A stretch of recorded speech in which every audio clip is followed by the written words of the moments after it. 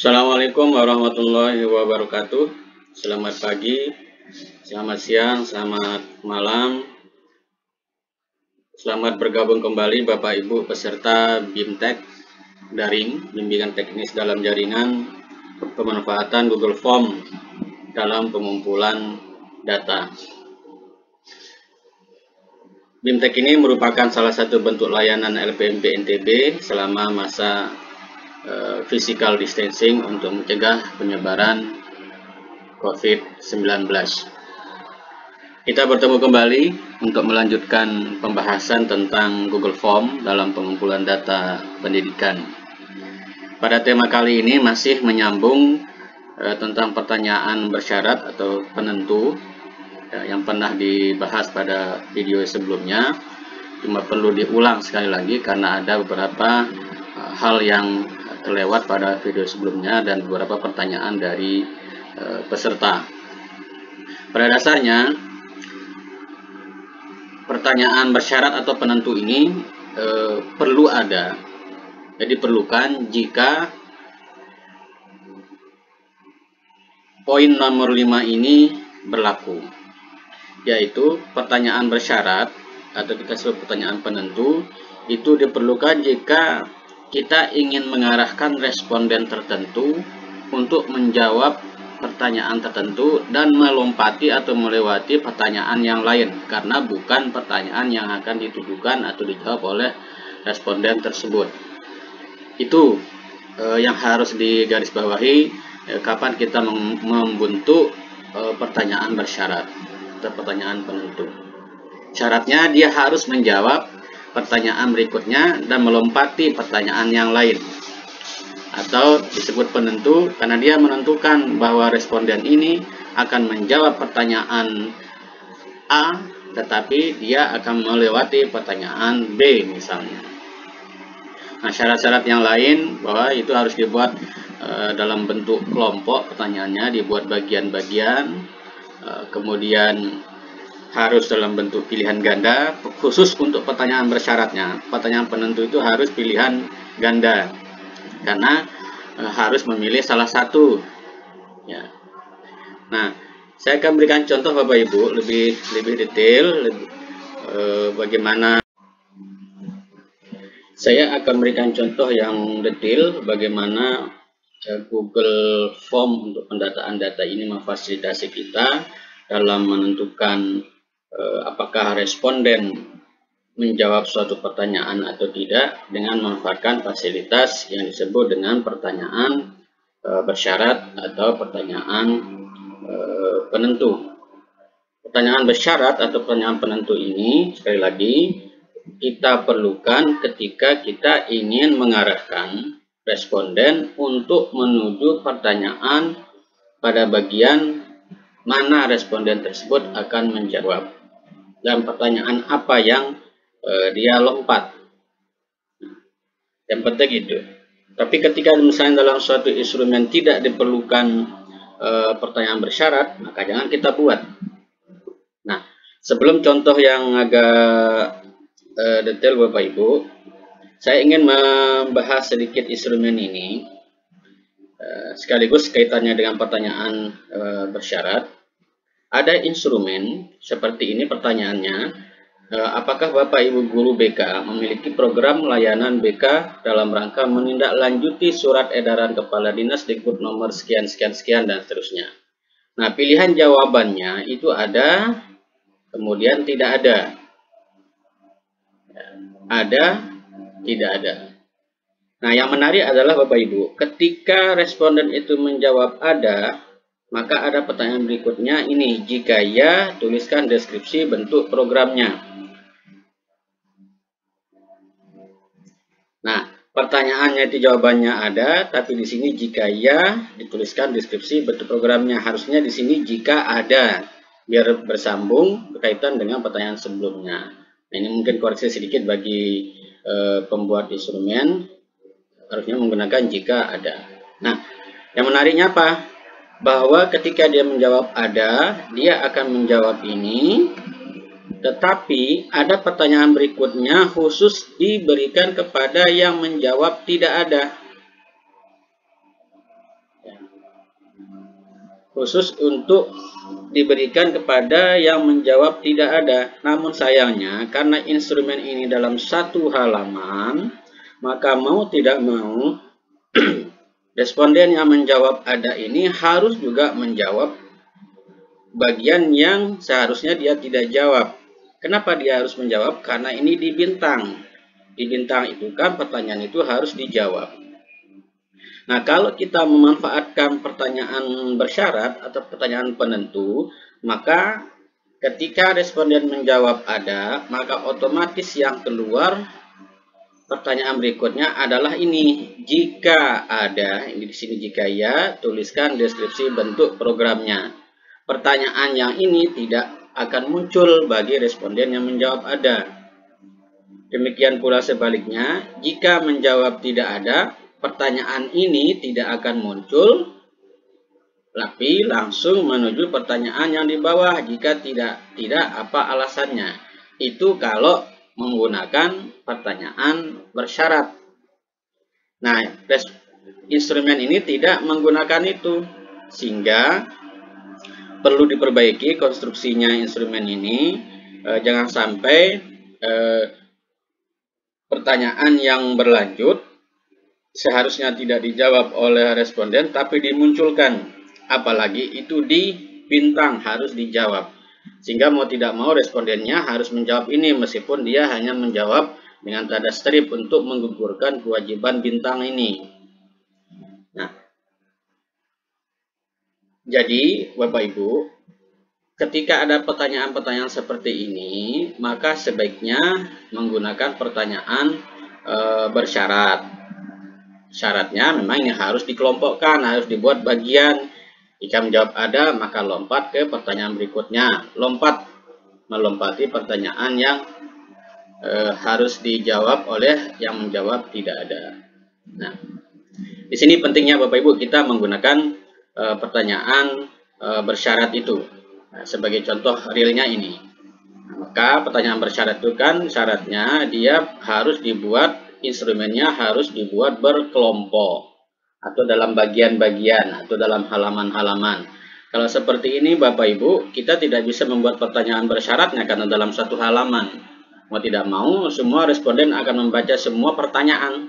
Mau dia menjawab ya atau tidak, dia akan membaca pertanyaan ini.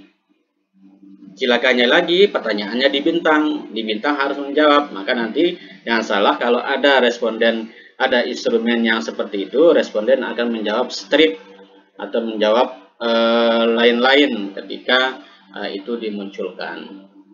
Nah, berikutnya contoh uh, kapan kita menggunakan pertanyaan bersyarat atau pertanyaan penentu ketika kita dalam satu instrumen kita memiliki beberapa responden tetapi responden itu masing-masing memiliki pertanyaan yang berbeda-beda. Ingat, meskipun respondennya beberapa jenis, tapi semua responden itu tidak memiliki pertanyaan yang berbeda, maka kita tidak perlu menggunakan pertanyaan bersyarat. Kalau semua responden diberikan pertanyaan yang sama, ya tidak perlu menggunakan pertanyaan penentu, karena semua sama pertanyaan bersyarat, pertanyaan penentu jika masing-masing responden memiliki pertanyaan yang berbeda. Pertanyaan yang sama tidak perlu menggunakan pertanyaan bersyarat atau pertanyaan penentu. Contoh, semua responden, guru, kepala sekolah, pengawas sekolah, orang tua siswa, ditanyakan kabupaten, ditanyakan jenis kelamin, ditanyakan satuan pendidikannya, ditanyakan nama sekolahnya. Nah ini kan sama semua pertanyaannya bagi semua responden. Maka tidak perlu menggunakan pertanyaan bersyarat untuk menjawab semua ini karena semua responden menjawabnya. Begitu. Nah, sekarang kita coba. Pada instrumen ini, setiap responden ada pertanyaan khusus kepada mereka karena pertanyaan khusus untuk memudahkan responden yang lain supaya tidak membaca pertanyaan yang bukan untuknya, maka kita buatlah pertanyaan e, penentu atau bersyarat. Pertanyaan untuk guru tidak akan dijawab oleh pertanyaan untuk pengawas sekolah, tidak akan dijawab oleh pertanyaan untuk orang tua siswa. Dan seterusnya begitu pula, pertanyaan untuk pengawas sekolah tidak akan dijawab oleh guru, tidak akan dijawab oleh orang tua siswa, tidak akan dijawab oleh kepala sekolah. Nah, bagaimana tekniknya supaya itu melompat? Ya. Kita cek dulu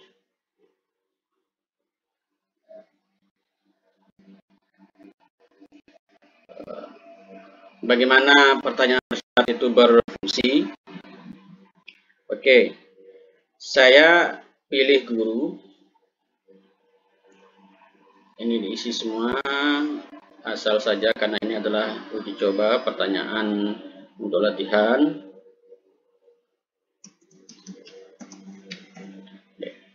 Ya, tadi kita pilih guru.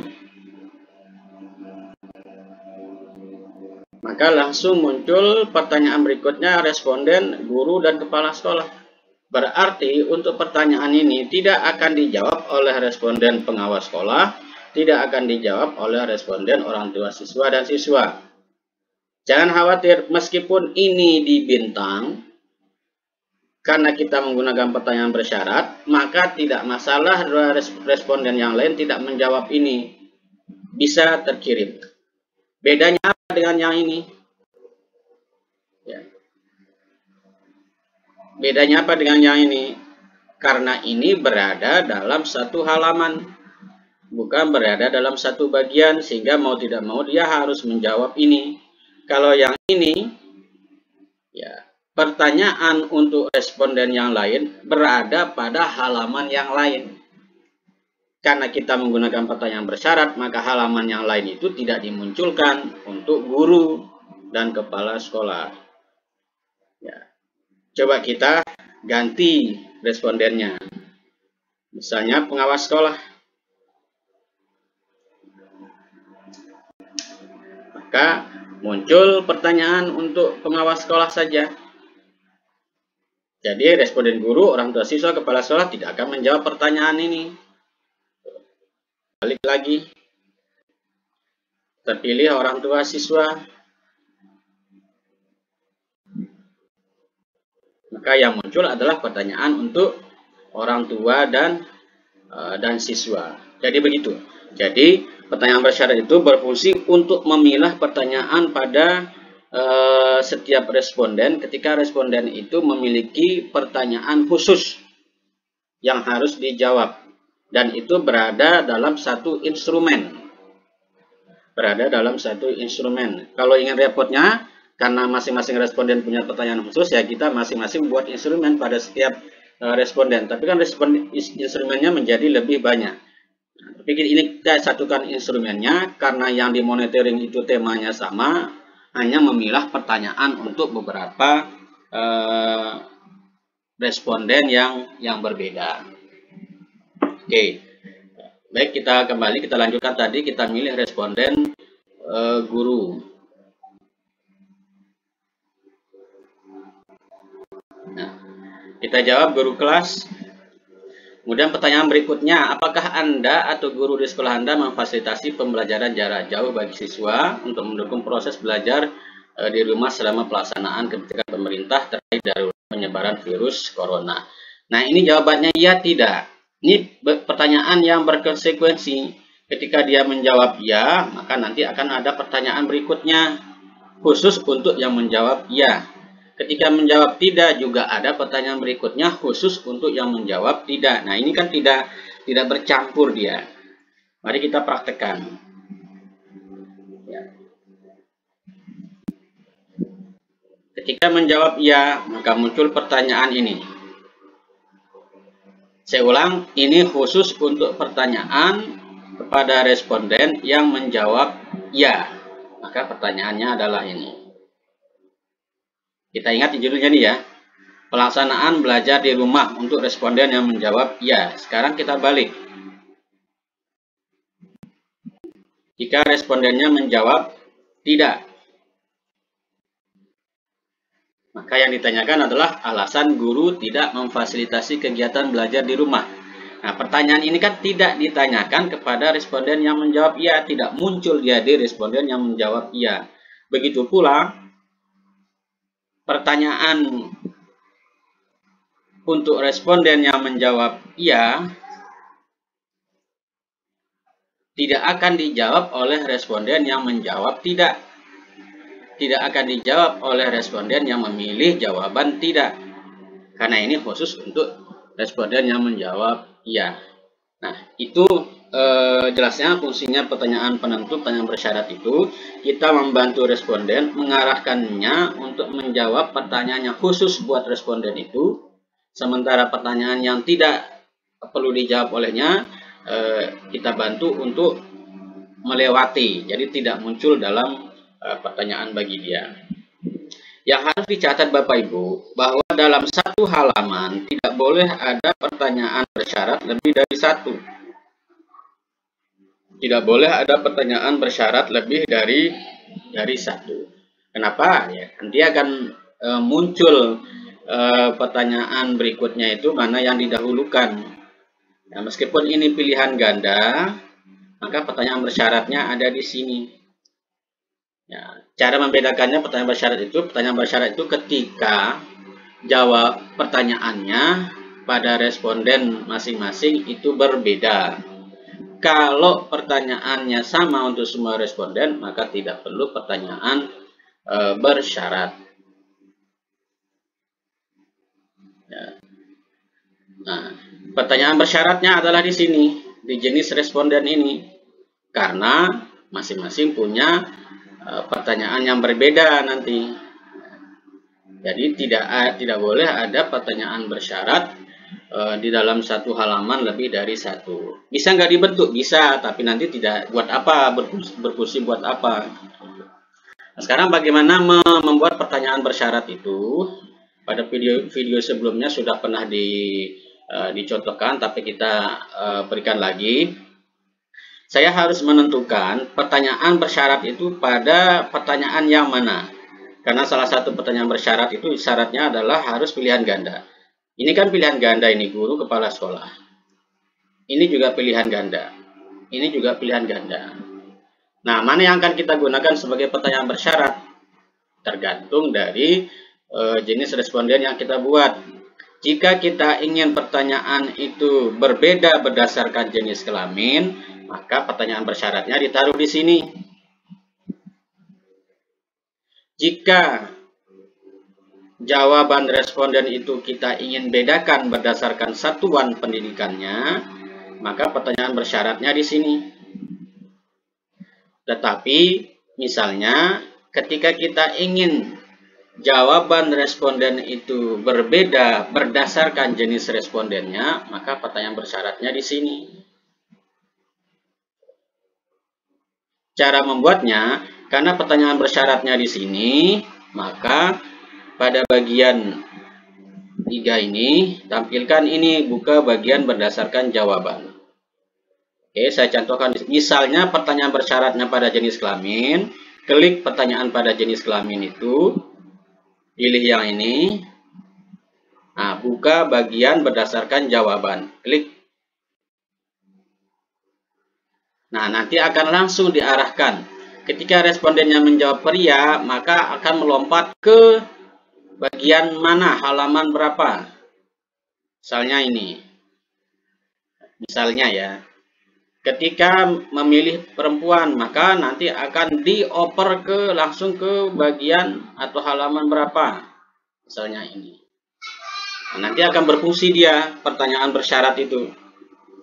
Ketika milih pria akan langsung lompat ke bagian halaman berapa. Ketika milih perempuan akan lompat ke halaman eh, berapa. Dia akan melompati pertanyaan untuk pria dan seterusnya. Karena ini kita tidak jadi, kita lompat saja. Kita abaikan. Ya.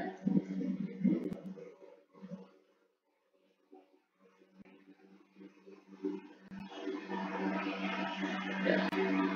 Nah, jadi Nah, pertanyaan bersyarat untuk instrumen ini yang digunakan adalah pada uh, di awalnya adalah guru karena yang dibedakan adalah jawaban responden berdasarkan jenis respondennya. Demikian, Bapak Ibu. Mudah-mudahan ini bermanfaat dan semakin menambah uh, wawasan untuk membantu Bapak Ibu dalam mengembangkan instrumen dalam pengumpulan data pendidikan dan memudahkan dalam pelaksanaan tugas uh, sebagai pengawas, tugas sebagai kepala sekolah, tugas sebagai guru. Semoga bermanfaat. Tetap jaga kesehatan, tetap jaga jarak dan mari kita berdoa semoga virus corona ini cepat berakhir. Assalamualaikum warahmatullahi wabarakatuh.